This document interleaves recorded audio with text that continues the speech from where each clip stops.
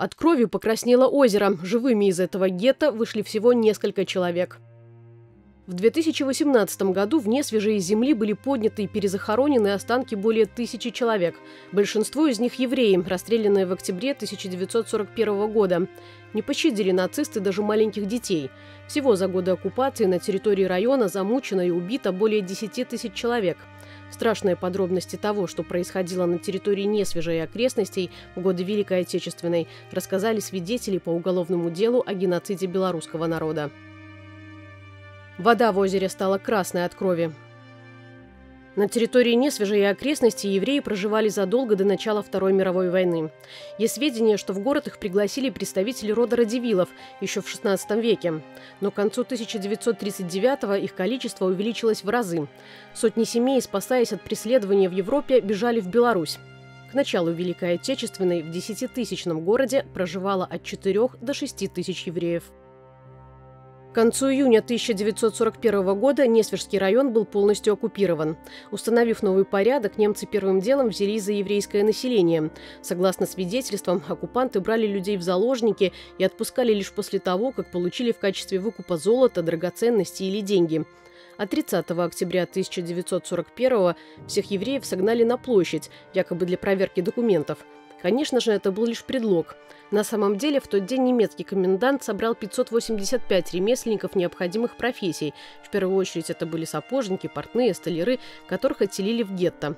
Оставшихся почти 3000 человек разделили на две группы и повели на расстрел к рвам вблизи замка Радивилов. Первые полторы тысячи были убиты в тот же день.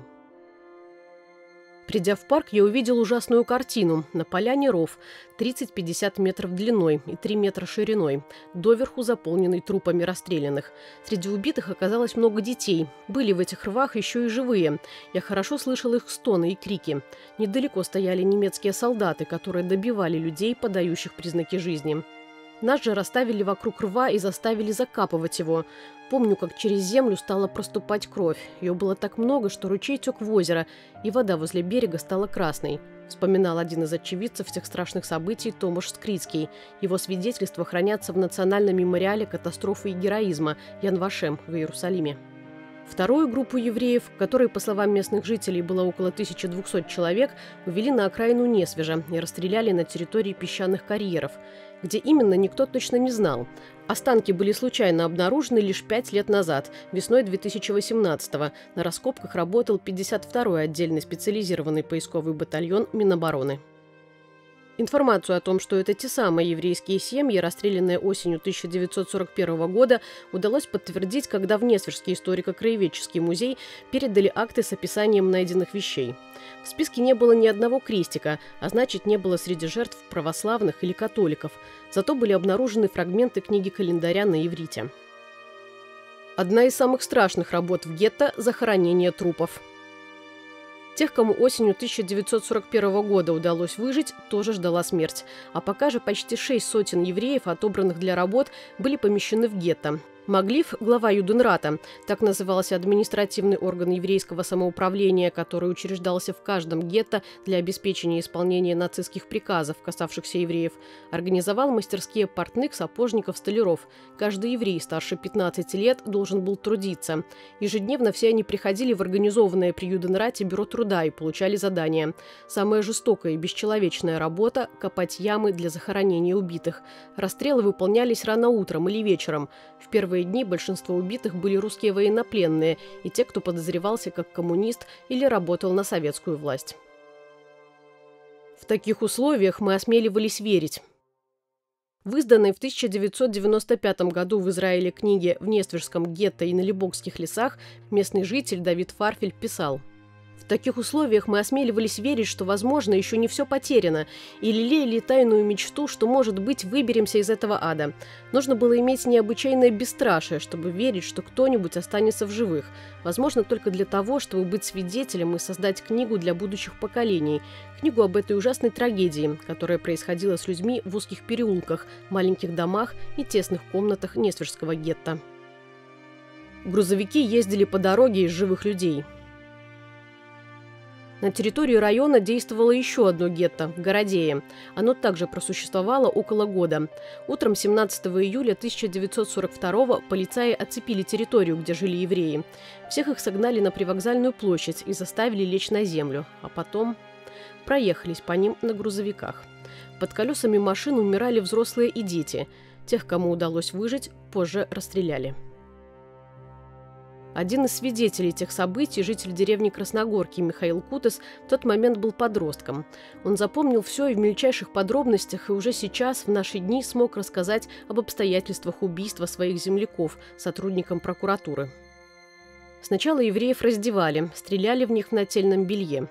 Всю одежду, которая была помечена желтой краской, на месте сжигали, а остальную свозили в определенное место и разрешали людям ее брать.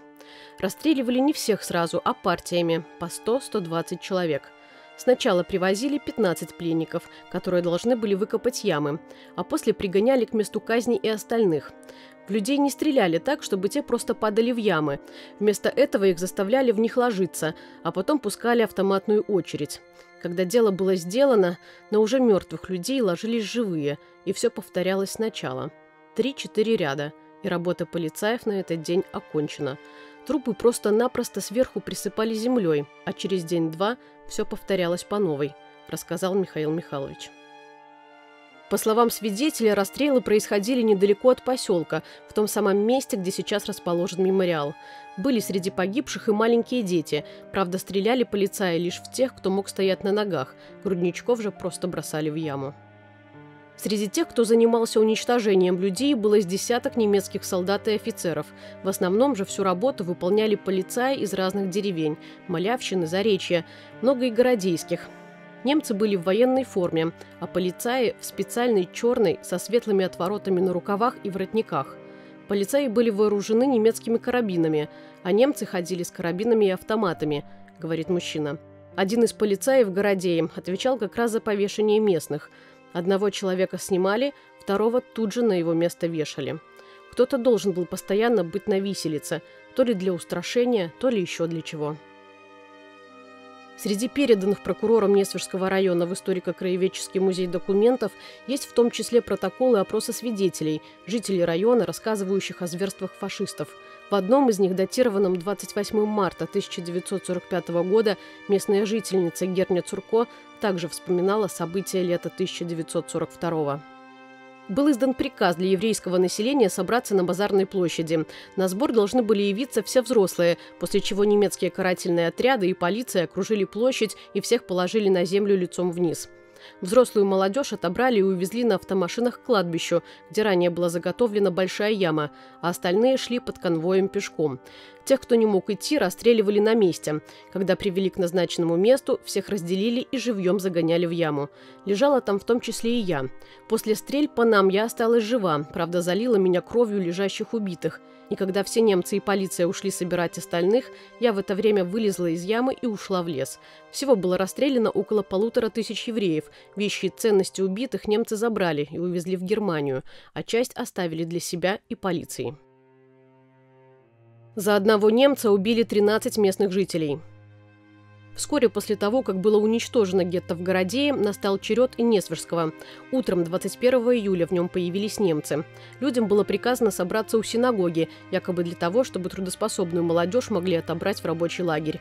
В какой-то момент присутствующие услышали выстрел. Евреи, стоявшие в колонне, разбежались и начали хватать оружие. Те, что имели бензин, подожгли гетто. Так началось первое в истории Великой Отечественной войны восстание в гетто. Закончилось оно трагически. К вечеру территория была завалена телами убитых. Тогда погибло около семи сотен человек. Также есть сведения, что было убито и ранено 40 немцев и их пособников. Спастись удалось лишь 28 евреям, которые впоследствии присоединились к партизанам. Давид Фарфель в своей книге о восстании в гетто писал – Вечером, когда стало темно, мы решили, что выйдем этой ночью. Проведя пять дней без хлеба и воды, мы нашли в себе силы, необходимые, чтобы сделать это. Я вышел первым, и передо мной предстала картина, которая и пугала, и радовала. Большая часть города сгорела. Каждый мой шаг вызывал шум, потому что повсюду были разбросаны вещи. Сердце радовалось тому разрушению, которое видели глаза. Мы не пошли, как скот, на бойню, и среди убийц были жертвы. В тот период, когда фашистские войска еще двигались на восток, маленькая и одинокая группа евреев отважилась поднять восстание. Мы были последние пятеро евреев, которые покинули гетто. В тусклом свете рассвета 22 июля 1942 года тлели останки сгоревших зданий. Маленькие огоньки мерцали на пепелище гетто, как поминальные свечи по погибшим повстанцам. Как свидетельствуют документы из Барановичского зонального государственного архива, трупы расстрелянных закапывали на месте. Некоторые свозили в Альбянский лес, что в пяти километрах от Несвежа. По воспоминаниям старожилов, несколько сотен погибших в гетто евреев похоронили в начале улицы Сновской. Еще одна свидетельница геноцида на территории Несвежского района, жительница деревни Ужанка Едвига Соловьева рассказала сотрудникам прокуратуры об уничтожении людей в деревне Булатовщина. Как-то раз недалеко от нашей деревни убили немца. Там к нам после этого приехало много солдат, которые учинили расправу. Убили тогда 13 человек – детей, стариков, молодую девушку. Помню, как двое местных жителей шли с работы через поле. Их постреляли издалека, рассказала Едвига Адамовна. Семья Тыдришей тогда жила возле самого леса, метрах в 50. Они успели сбежать. Осталась только старенькая бабушка. Ее расстреляли прямо в доме. Недалеко стоял и дом Шереметов. Жили там муж с женой и трое детей. Их тоже всех застрелили. Не пережили тот день и семья сестры моего отца. Тетя с мужем и двумя детьми были на своем дворе. Дядя держал мальчика, а тетя – девчушку. Их расстреляли на месте. Останки 1067 человек перезахоронили 25 октября 2018 года недалеко от дороги Несвеж-Барановича, в нескольких сотнях метров от места, где они были обнаружены. Обряды погребения провели представители трех конфессий. В 2004 году в городе открыли мемориал жертвам гетто, автором которого стал Леонид Левин, один из архитекторов государственного мемориального комплекса «Хатынь». К разрушенному углу дома тянутся 1137 камней. Именно столько человек было уничтожено 17 июля 1942 года.